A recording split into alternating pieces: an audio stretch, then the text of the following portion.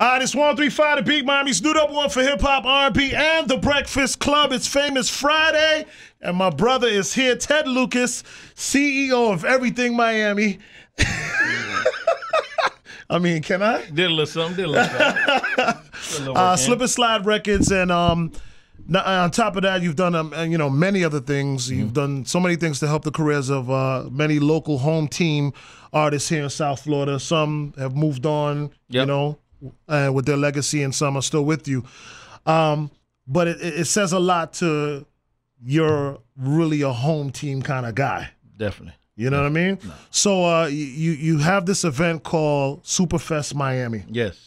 All right, can you explain what Superfest Miami is all about? Superfest Miami, to make it real simple and short, I think when uh, people come into Miami, we go and visit them on South Beach and other locations. For Superfest, I wanted to put a platform and a and uh, something together in our community, beautiful city of Miami Gardens, that's hosting the Super Bowl. I think it's great that we um, have the tourists come over and visit and play with and party with us. You know what I'm saying? I, I I love you said that because I remember past Super Bowls. Yes. There was stuff going on in the area. What Correct. changed according to your knowledge? you know, I just think people um, kind of forgot about it. I was raised to where, you know, when people came in, they got a chance to experience some of the nightlife and some of the things that was able to offer.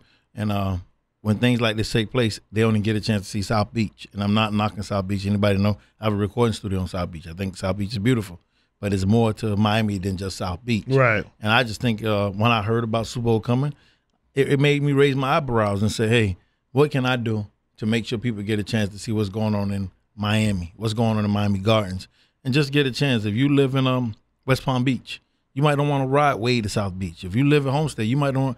But if I feel like we put something together good enough, we can get Palm Beach to come down and party with us in Miami Gardens, have Homestead get a chance to come party with us in Miami Gardens.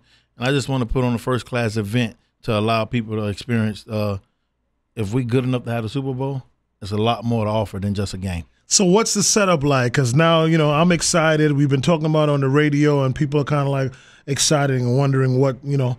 And if you drive up and down, because I, I have to pass it every day Yes. to go to my restaurant, and I see the big tent. I see one of the big tents Yes. up already. What you know? What what are people anticipating? What what can we look forward to? Listen, man. First of all, um, I ain't, we bringing it closest possible to the Dade County Youth Fair to Miami Gardens. I think it's important, you know, that our community get a chance to participate and have some of their great uh, football players that they look up to to come out and have autographs and take pictures with those guys as well. So we got a carnival that we brought over from uh, Santa's Enchanted Forest. This came over.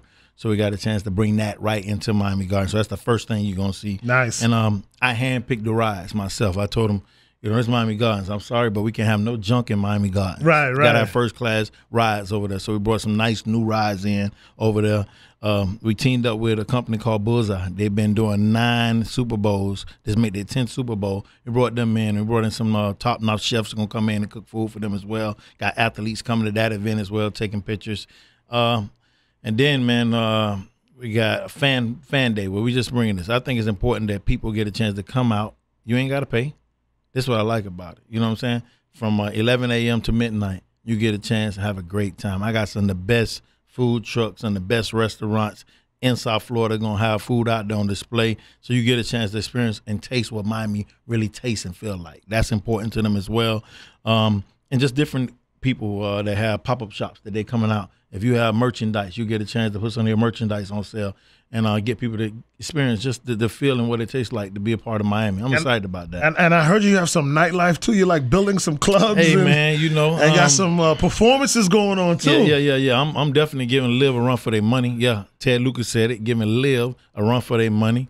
Got some glass clear tent nightclubs that's coming over there that hold about three thousand people. Wow. You know, it's definitely going to be a, a beautiful sight to see.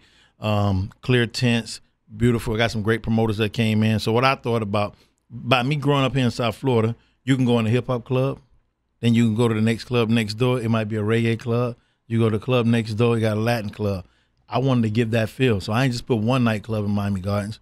We put a club that's gonna be able to give you hip hop, and you're gonna be able to hop to every club. You're gonna be able to go to the club next Oh, door and get that. Latin feel. You know what I'm saying? You go to the club next to that, you're gonna get the reggae feel. And we trying to bring in some of the best DJs and the best people like Papa Keith to come in and help us support this and Absolutely. give people a chance to experience what it's all about. So I want you to come over here and uh club hop, man. You know what I'm saying? You might spend an hour in the hip hop club. For an hour later, you might go in the reggae club. Hour later after that, you go in the Latin club and just have a great time. And like you said, that's how we're a custom partying That's us, anyway. man. That's us. That's us. Ted Lucas here, um, Superfest Miami. It's coming. Um, so you're starting a little earlier than some other events. Yes. Uh, can you explain that? Um, So that's where like the carnival rides, Yes. people be able to enjoy those things leading into the That's correct. to the actual big so game. January 24th, we're going to open up. That's next Friday. We're going to open up. The carnival be up and running. Um, and uh, Taste of Miami be up and running. So people can come out, man. When you get off work next Friday, I want you to do your happy hour over in uh, City of Miami Gardens. Come over and bring your kids, bring your family, man, over to get on some nice rides. Yeah. Come over and, and get some of the best food that they got to offer. We got DJs out there playing music. And uh, take your shoes off, party, and have a great time, man. I- So it's like ten days of 10 different days. events. and- Yes, yes. 10 days, man. Um, there's so many different events. I can't even remember. Mom. You remind me about the club, man. We got concerts going on. Got some great people coming in for that. We got um, different DJs coming out to perform. People coming out. Locals don't get a chance to perform on local stages Right, as well. right. So I just wanted to be be able to open that stage and be, be able to open that door so people get a chance to experience that. It's so funny because um, something I noticed. Uh, I was reading some um, blogs and, and and I saw that uh, the city of Miami Beach is um, hiring a, a bunch of cops. Yeah. you know, to come in on these weekends, and um, I just want to remind our people. That's right. You know, and others that. You know, when these big weekends come, you know, when we, we've been through the memorials, we've been through the Labor Days, we've been through everything, and it's not as inviting for us to go to these areas. You I know, co-sign that. Right, whether it be that. the beach and stuff. You know, Wynwood That's ain't real. as bad, but Yeah. you understand what I'm saying? Definitely. I mean, ain't much places to park over there, but That's right. um, but especially the beach, you know, whether it's capturing your license plate Correct. and pulling you over and you know, and all these different things. And I haven't even got to the traffic. No, you got to the traffic, and you bet, and you better not turn your music up too loud neither. You know? right. So all these different, you know, type of things um, that we have to deal with where we go to have a good time and spend Right. our money like everybody else. That's right. But it's a different type of experience for us. And you know, it kind of it, it frustrates me to see like how we continually, and when I say we, I'm meaning collectively because Yeah. I don't. Yeah. But how collectively we as a people continue to put ourselves through these things. Yeah. And then when you have events like this where it is tailored Yep. to our comforts and to us and stuff like that, you know, why we collectively won't be so overjoyed to to, to spend money at, for people who want our money. That's right. That's right. people who look like us. That's real. People who are actually inviting us and putting on events for us. That's right. For us. Because of the fact that we don't feel there's enough things out there for us. That's the truth. So I just want to kind of like just deliver that message, you know, while we have this moment because, you know, it, it, it, it, I, I I have to take my hat off to you Thank you. because a lot of people in your position wouldn't even waste their time, bro. Hey, you know, you just said something, man. Uh, Super Bowl was here ten years ago, right? I took my son. It was the New Orleans Saints. I'll never forget it. And by me growing up in the Baja as a part of Miami Gardens, I seen that stadium get built. And when the Super Bowl came ten years ago, I wanted to take my son to the Super Bowl.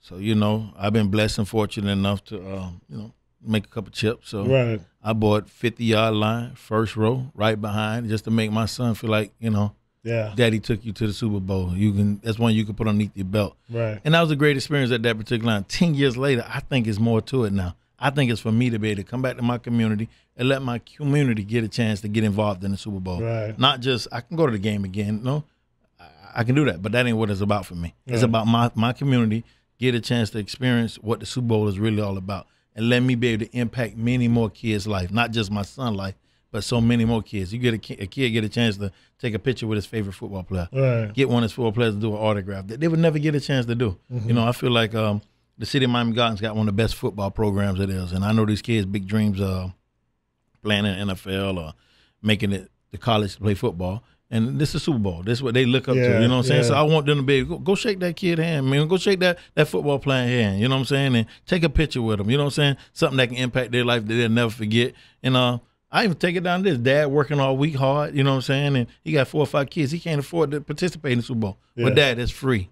You know, bring your family out. This is a family event. Bring your family out, have a good time, walk around, and, and get a chance to experience that, man. And um, I don't care if grandma old and she been in this community for a long time. Bring her out too. We got some nice things. I'll make sure grandma's straight as well. So That's I want to make up. sure the whole community come out and support Superfest in the beautiful city of Miami Gardens. It's important to me for me to come back to a community where I was from. I thank the city of Miami Gardens, Mm-hmm. uh, the mayor, Oliver Gilbert for supporting my vision and understand. when I yeah. made that phone call, he said, "Ted, come see me."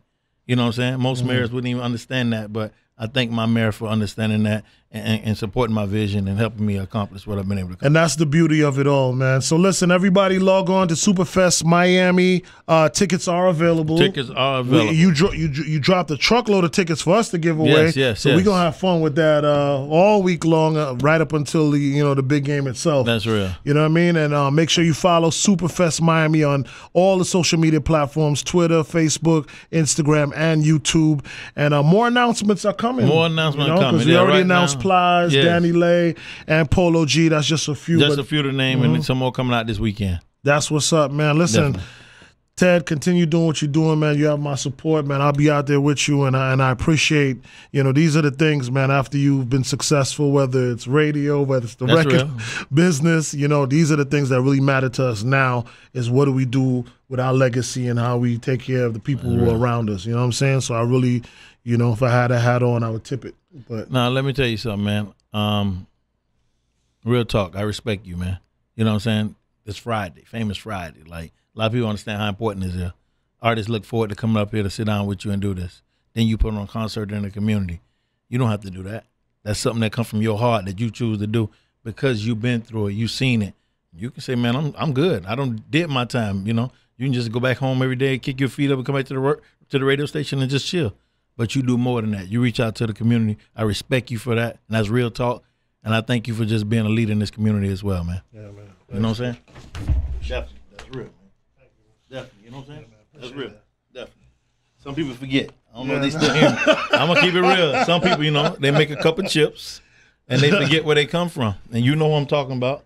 And Yeah. um, I just the way I feel. You know what I'm saying? No, Some no, I people- appreciate it, Some people get to that point, but don't forget where you came from. This community has built a lot of great people.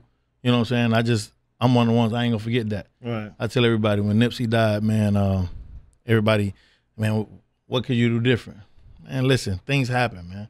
That man was in his community, impacting his community, making the kids see uh, a businessman in their community. Right. And people need to see more people like you and I come back to our community giving back. Big facts. Ted Lucas, Slip and Slide Records, amongst many other things, but Superfest Miami for the next few weeks, and that's for sure. Support your own man right here in the beautiful city of Miami Gardens. It's 135 to beat Miami's new number one for hip hop, R&B, and the Breakfast Club.